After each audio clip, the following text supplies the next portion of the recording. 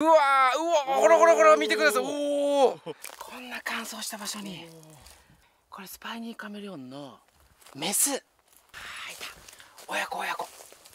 親子です。あいたいたいたいた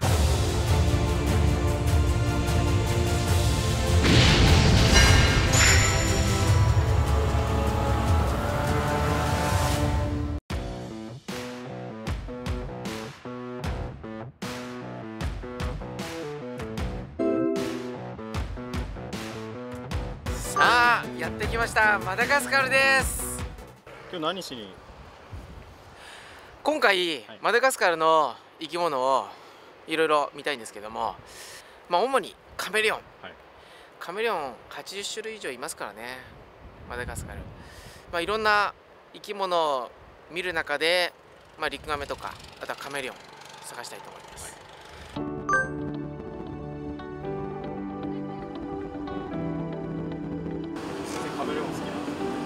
ですね。カメレオンってやっぱ特殊なんですよ。世界に、まあ、200種類以上いますけれどもこのマダガスカルにはその半数近くいますので。今回特に見たいものがありカメレオンの中でも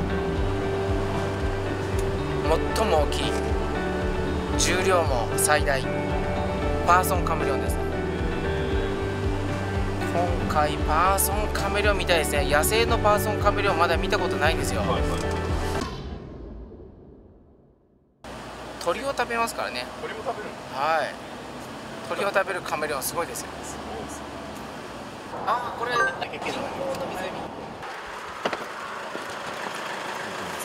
っかはいですね。池でっか これ作ったんですね。すごい。うわ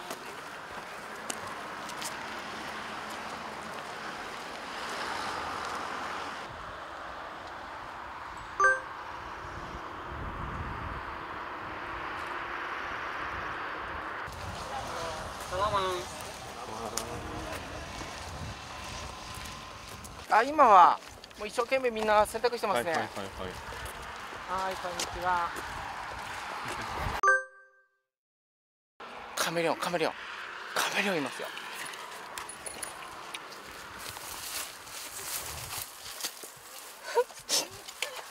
おおカメレオンいるじゃないですか、カメレオン。すげええー、あんたのなりぼの街でカメレオンいましたよ。これ。すごいすごいすごいすごいすごいすごい。ほらほらほら。ウスタレカメレオンです。スタレカメレオン。ジャイアントカメレオン。長さで言えば、はい。もう世界最長のカメレオン。へうわーうわーほらほらほら見てください。おおうわーすごい。ウスタレカメレオンジャイアントカメレオンですね。まず大きいはい。サイズ的に大きいということと見てください。ほら大きな口。大きさは最大68センチになります全長。もっと大きくなります。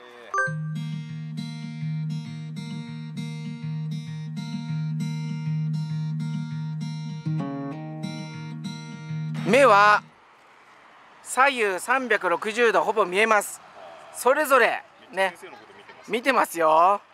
このちっちゃなねちっちゃな目の穴のところからはい見えますね黒目がね。もう真後ろまでね。180度。あします。目が乾燥するとしょぼしょぼってしますね。いましたね。ついて30分ですよ。カメレオンがいる。すごいですよこんなところに。いたたたたたちょっと待って。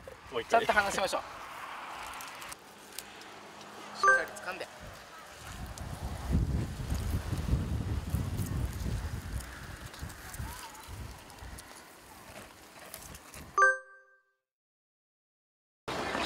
カメレオンいたカメレオン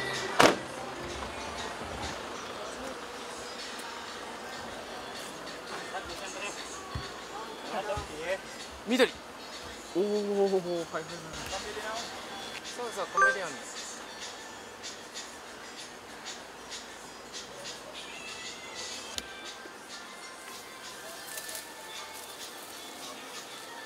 ほら。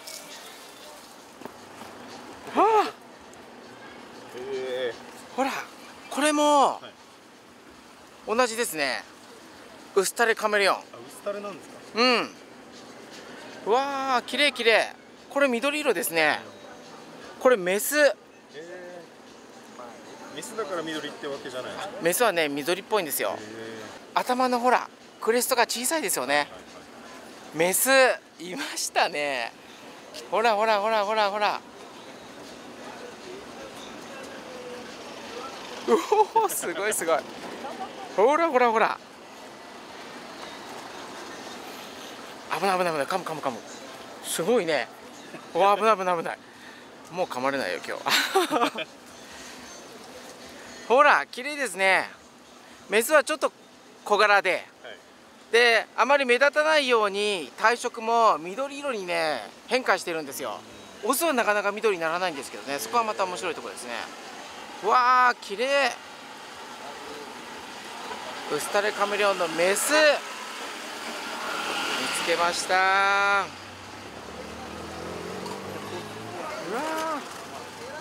ー。すごいすごい綺麗。すごい綺麗。うわ見てる見てる。はーい。話せって言ってますね。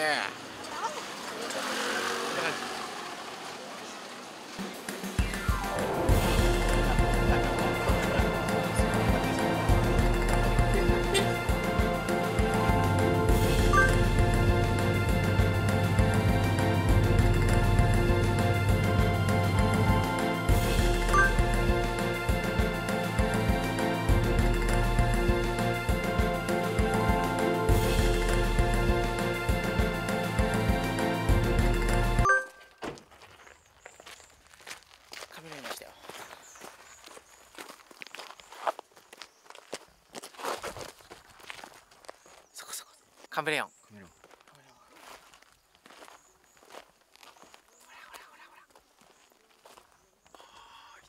いますよね。これは？これはスパイニーカメレオン。スパイニ背中がクレストがトゲトゲしてますよね。ウスタレカメレオンに似てるんだけども、はい。もうちょっと小ぶりの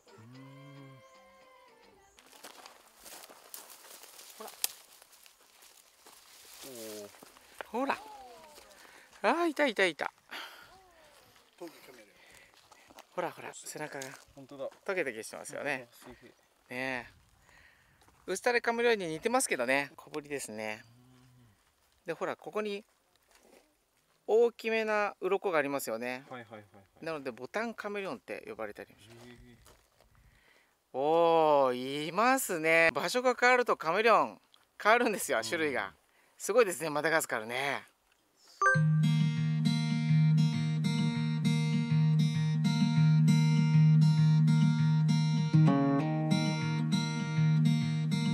ゴツゴツしてますよね。あほらすごいすごい。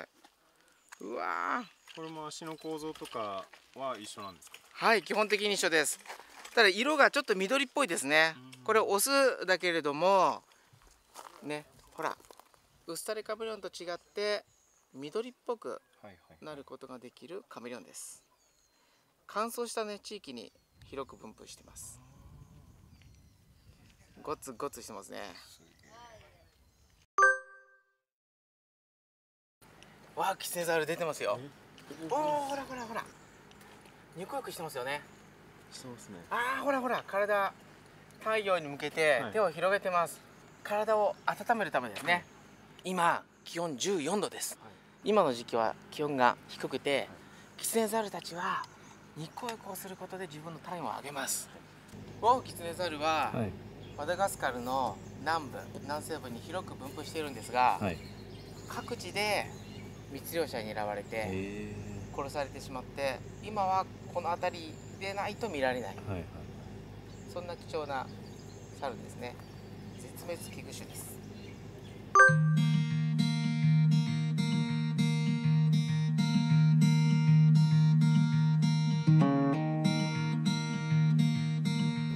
おい、どうした？若い子供ですね。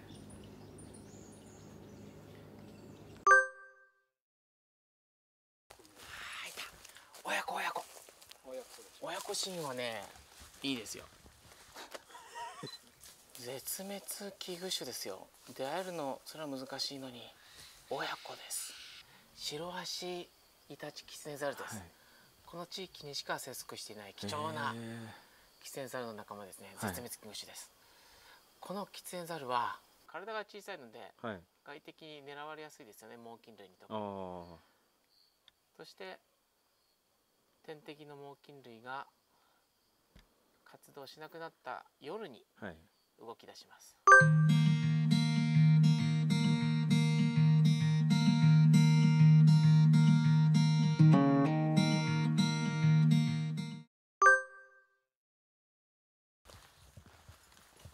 あ、シバカもいますね。ここ待ってりゃ飛ぶかな。まあベロシバカ絶滅危惧種です。食ってる食ってる。あそこでも葉っぱ多いからな結構あそこに椅子あるかもね。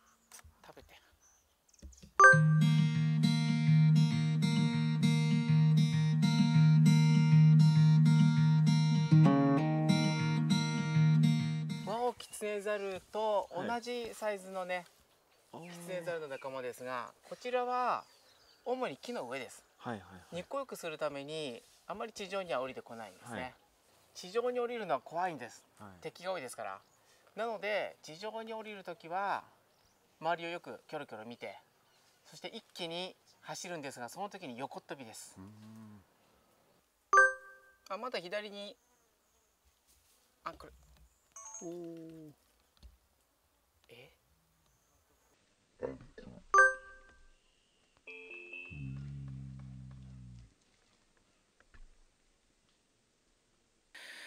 地上には危険がいっぱいなんです。はい。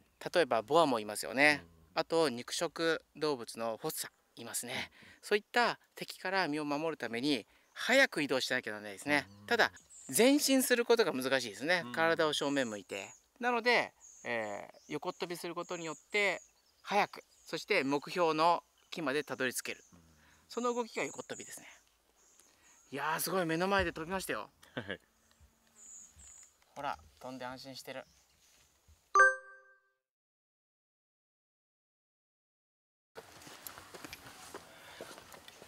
ほらいますよリクガメ保護されているリクガメは放射ガメです、わ大きい大きいですね。この地域にはかつては生息していたんです、はいはい30年ほど前とか。でも今はもう全部捕まって食べられてしまってこの保護場以外では見られないんです。貴重ですよ。ほら盛り上がってますよね甲羅が。はい。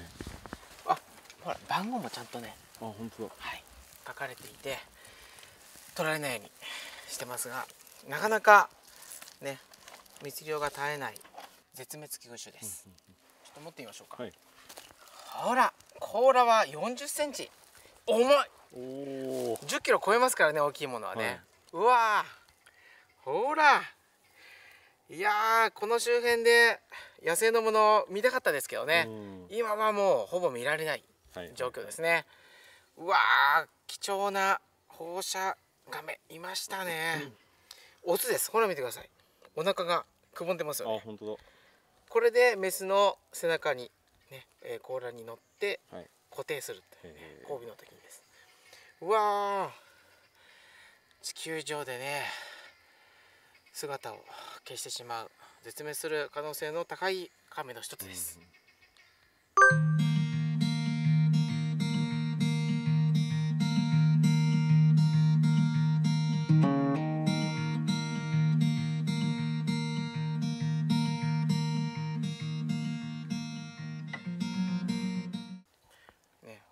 ドーム型ですよね。うんうんそうすることで、えーまあ、体表表面にはい。対するこのね、えー体積うん。高めることで乾燥からね身を守ります、もう体が丸っこいのはそれだけ水分をねはい。体内に蓄えることができるということです、乾燥地に生きるリクガメの特徴ですね。で見てください。ねここに切り込みも入ってますよね、はいこれも個体識別するためです。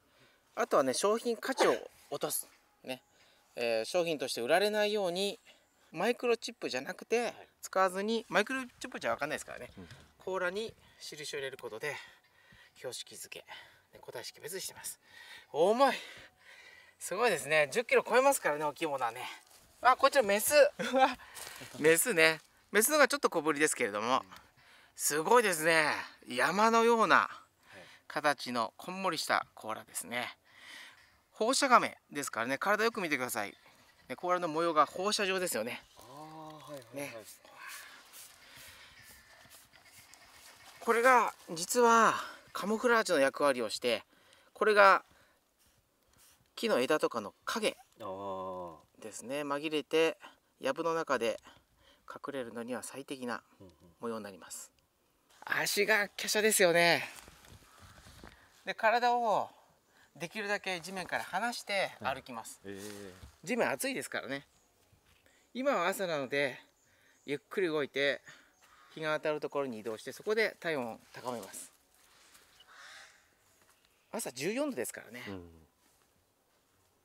いやーこうやって守っておかないと消えてしまうそんな貴重なリクガメです。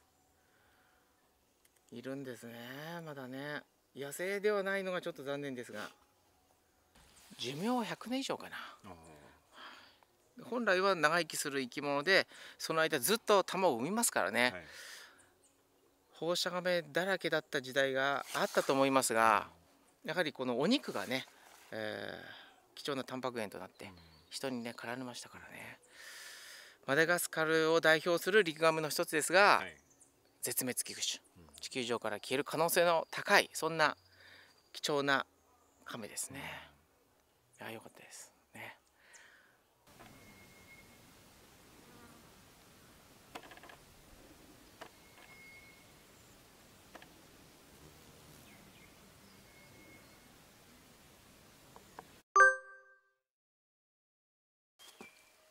ほら。おおお頭が大きいですよね。ビッグヘッドです。これがね特徴の一つですね、うわ立派。マダガスカルの、はい。ね大きな河川にね生息しているんですがもうほとんど見られないと言われていますね、えー。なんかすっぽんにも似てますね。似てますね。この亀の特徴が、はい。首を甲羅に引っ込めることができないんです。ええ大頭ガメみたいな似てますが大頭ガメともちょっと違って見てください。ほら首横にしますよね。あ本当だ。ほら横首ガメ甲羅の中にはい首をまっすぐ隠すことができなくてえ。カクッと首を横にする。これ原始的な特徴ーですね。うもう恐竜がいた時代かはい。らこの横首ガメっていうのは存在してますからね、へー。もちろん亀はね2億年以上歴史があって、ーはい。原始的なものは首を引っ込めることできなかったんですね、はいはいはい。そういった特徴を残す貴重な亀の一つです。マダガスカルヨコクビガメ固有種です。すごい。そして絶滅危惧種です。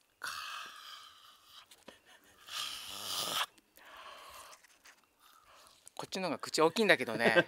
ひるまないですね、はい。すごい。いやー生き残ってほしいですね。いろんな川で暮らしてもらいたいものです、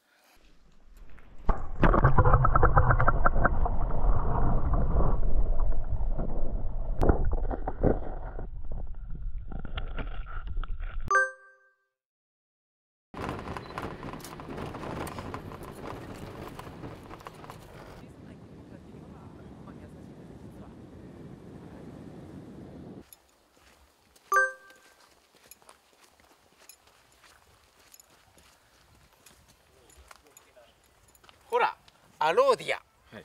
プロケラ。トゲがはいはいありますよね。鬼の金棒のような木です。ほら。そうですね。木の枝が全然ないですね、はい。葉っぱも小さい。これが乾燥林を生き抜くために大切な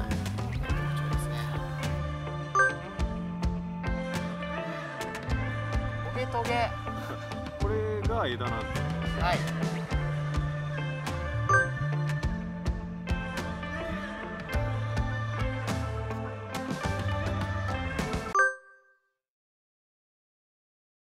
うわうわでかい。バオバブの木ですよ。これも固有種です。そうですね。マダガスカルを代表する植物の一つですね、うん、これ6 0年。樹齢600年。でっ。か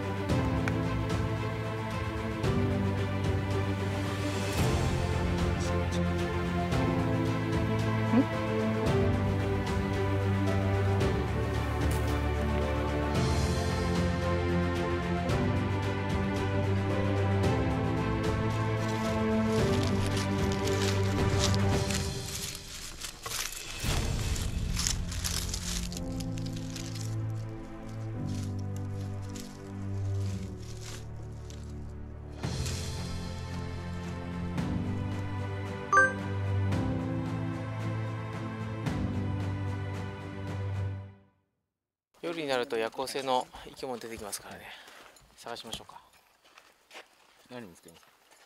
そうですね。キツネザルの仲間で小型のサイズのものがいるのでそれもとても貴重です、えーキツネザルの仲間はこのマダガスカルの島にだけ生息していると。えそんな珍しいグループの猿たちですね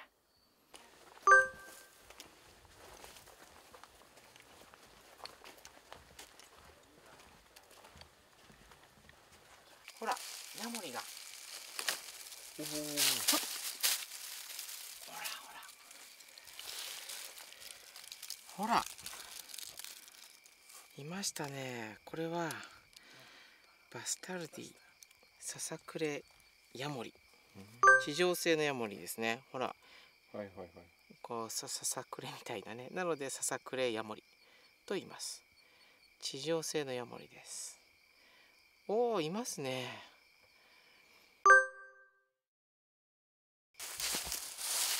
ほら夜は光を反射して白っぽく見えますね、白いんですよ。おお寝ている時はこんな感じ？はい。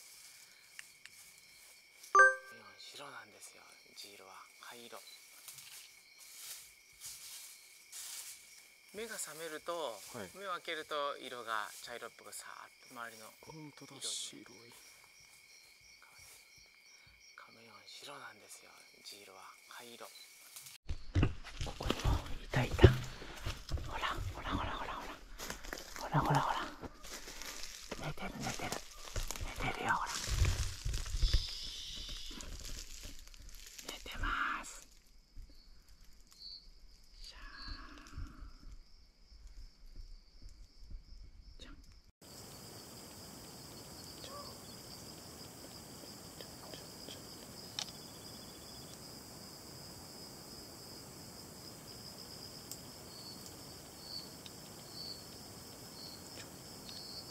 寝てましたけど起きちゃいましたね。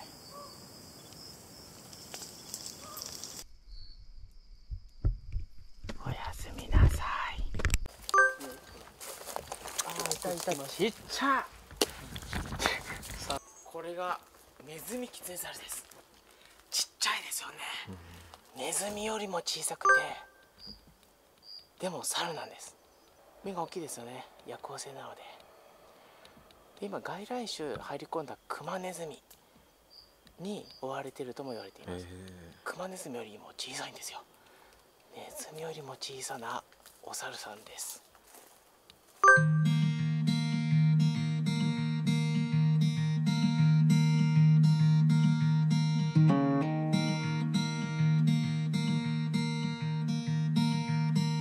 これだけたくさんの種類が現存している、えーしかもキツネザルの楽園になっているのは大型の肉食動物がいないからですね、今私が安心してあるけれどもライオンいないヒョウもいないハイエナもいない。そういった環境で外敵が少ない環境でこのキツネザルの仲間ははい。多種多様な種に分化していったと、うんうん。そんなマダガスカルの島代表する貴重な生き物ですね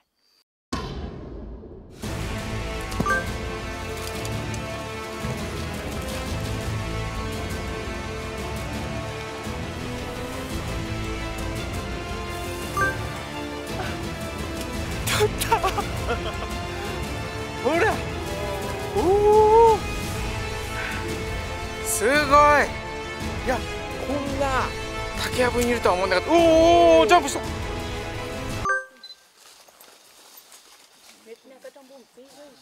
うな。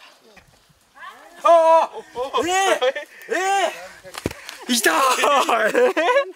え もう木の上を考えええすげえ最後まで見ていただきありがとうございます。